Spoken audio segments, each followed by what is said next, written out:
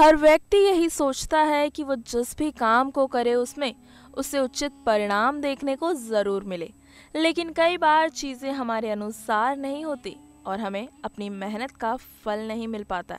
ज्योतिष में ऐसा बताया जाता है कि ग्रहों की बदलती चाल हमें नाकाम बना सकती है तो कहीं ना कहीं हमारी असफलता के पीछे ग्रहों का ही खेल होता है। ये कभी हमें शुभ प्रभाव देती हैं तो कभी अशुभ भी देती हैं।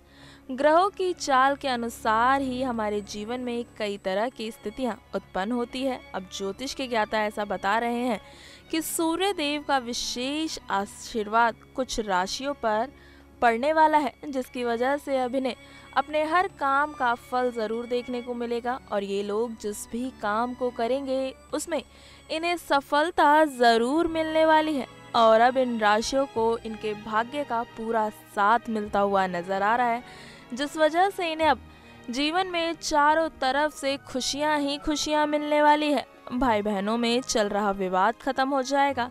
प्रेम संबंधों में मधुरता आती हुई दिख रही है। व्यापार में कई बड़े लाभ भी हो सकते हैं, जिस वजह से आपका मन प्रसन्न रहने वाला है। आपके द्वारा बनाई गई हर योजना सफल होने वाली है। घर परिवार में चल रही समस्या भी अब खत्म हो जाएगी।